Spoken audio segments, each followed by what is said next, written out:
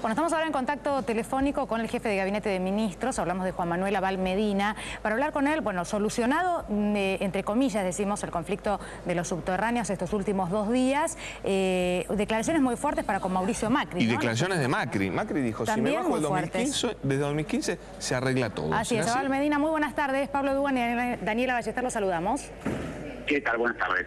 Bueno, primero que nada, consultarle al respecto de estas últimas declaraciones de Mauricio Macri, eh, dando a entender que si él cede en esta disputa presidencial para 2015, se terminarían los conflictos con él, por lo menos, ¿no?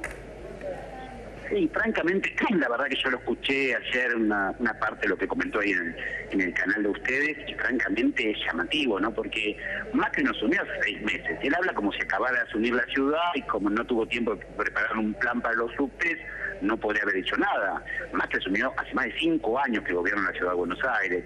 Macri fue candidato el año 2003. Macri le dijo a todos los porteños que si un gobierno en la ciudad, con la cantidad de impuestos que cobraba, con el presupuesto que tenía, no podía ser menos, no podía ser más de 10 kilómetros por año, era un inútil y no solo no ha hecho un metro, digamos, no solo no está proponiéndose un metro más de subte, sino que ni siquiera dice que puede manejar los que tiene. Yo lo escuché ayer diciendo que entonces no habrá subte. El jefe del gobierno está diciendo que no va, no va a haber subte para todos los porteños que lo votaron o los que no lo votaron o los gente que los usan. Realmente es increíble. Ministro... Y una responsabilidad muy, muy, muy marcada, ¿no?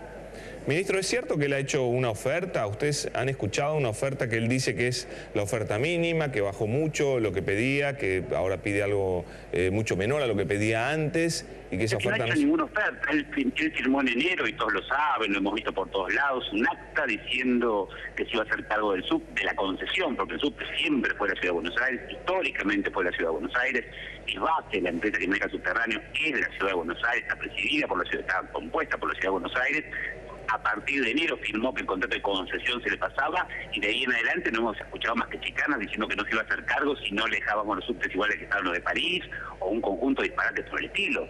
Yo creo que francamente, digo, más allá de que se por suerte solucionado el problema que nos hizo sufrir a todos los que transitamos por la ciudad de Buenos Aires con su incapacidad estos últimos, los últimos días la semana pasada y, hasta, el día de, antes de ayer, si nos de una buena vez deja de lado los caprichos y se pone a gestionar y a trabajar, digo, él está gobernando hoy la ciudad, no puede hablar de lo que va a hacer en el 2015 si no gobierna hoy la ciudad de Buenos Aires. Abel Medina, y en la noche de ayer, aquí en C5N, con, en el programa de Marcelo Longobardi, Macri volvió a hablar de justamente el tema del traspaso, de los fondos, de que sin fondos, una, una frase que ya hemos escuchado en varias oportunidades, o por lo menos hace algunos meses venimos escuchando, que si no están esos fondos no se hace el traspaso. Ustedes eh, siguen certificando que los, los, fondos ya están depositados, están a disposición. ¿Quién no los quiere tomar? ¿Por qué? ¿Por capricho? Utilizando una palabra que usted mismo ha usado, ¿no?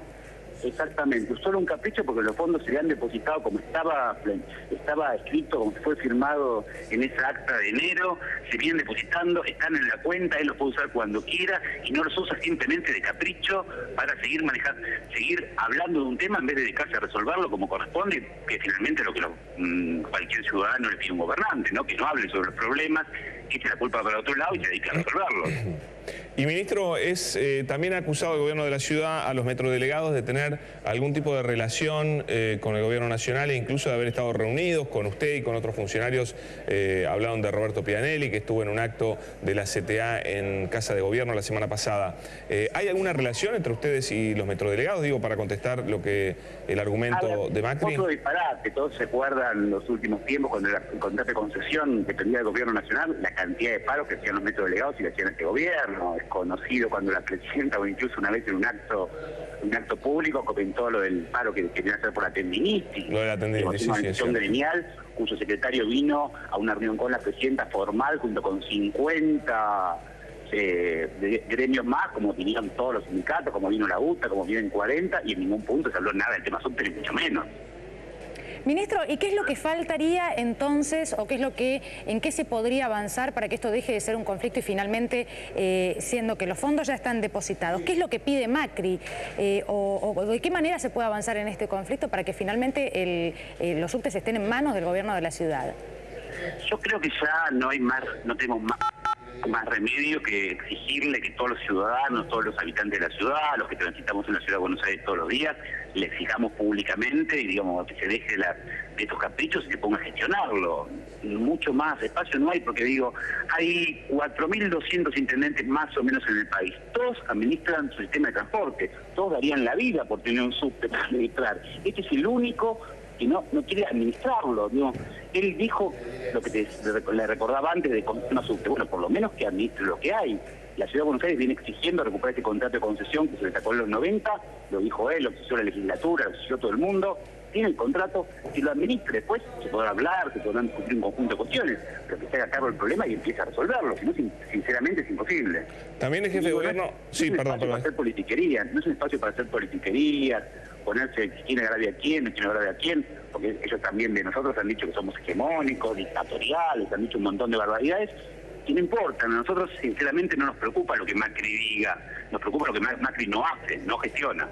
Él habló de, una, de la posibilidad de una reunión con la Presidenta de la Nación. ¿Tiene sentido esa reunión? ¿Podría destrabar algo? ¿No es necesaria? No, no puede tiene una foto, una cuestión social. él se juntó con ese momento con el vicepresidente, con el ministro del área, firmó una acta delante de todas las cámaras de televisión y no se hace cargo de lo que firmó. ¿Qué sentido tiene otra reunión? Lo que tiene que hacer es cumplir esa acta de enero y ponerse a gestionar. No hay más espacio, digo, en en, la, gestión no es como un tema de, cuando alguien relata la realidad. Cuando está en la gestión, los temas se puede hablar un tiempo, pero en un punto hay que resolverlos. Si no empieza a resolverlos, si no se de cargo, como en buena medida hizo el gobierno de la ciudad, cuando la Secretaría fue la Secretaría de Transporte de la ciudad, la que convocó a los metrolegados y la empresa, hasta la propia, hasta, hasta sus propios funcionarios están haciéndose cargo de un tema que por caprichoso sigue diciendo que no es su competencia. La verdad, ministro, que suena hasta, hasta extraño tener que hacer la pregunta, ¿no? Pero ahora que lo ha dicho Mauricio Macri, eh, ¿cómo calificaría usted una ciudad sin subtes? ¿Es posible una ciudad de Buenos Aires sin subtes tal como Macri eh, se atrevió a describir eh, que podría ser la ciudad de Buenos Aires? Sinceramente, a mí sinceramente me parece una locura. Estamos hablando de la ciudad que tiene el presupuesto per cápita más alto lejos de la Argentina, que tiene un presupuesto que supera casi todas las provincias, que le cobra a los porteños vía BL y vía patentes un impuesto específico para el subte, que tiene una empresa que se llama Subterráneo de Buenos Aires. Digo, no hay ninguna razón objetiva, material, ni de ninguna normativa de ninguna naturaleza que no le permita que el subte, hacerse cargo del subte que funcione. No, no, no hay, no hay ninguna excusa, digamos, no hay ninguna posibilidad. Él dice que no entiende por qué se levantó el paro, digamos, qué, qué ocurrió y acusa, y también algún, algún medio lo ha publicado, que hubo algo así como una sugerencia por parte del Gobierno Nacional a los metrodelegados de levantar el paro. Eh, ¿Cómo reacciona eso? No, a ver, obviamente el paro nos parecía mal, como nos parece muy mal que la gente no podía viajar lo que estaba ocurriendo. La sugerencia era al gobierno que se haga cargo, a la empresa, a los metrodelegados, a la UTA, que, dejaran de hacer medidas fuertes que pusieran a resolver el tema. Fue público, lo dijimos públicamente, esa es la sugerencia que obviamente.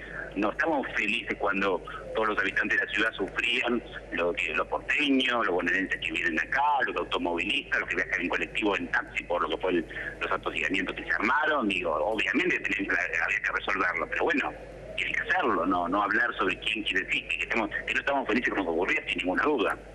Ministro, muchísimas gracias por este contacto con nosotros. ¿eh? Le agradecemos por su tiempo. No, muchísimas gracias a ustedes.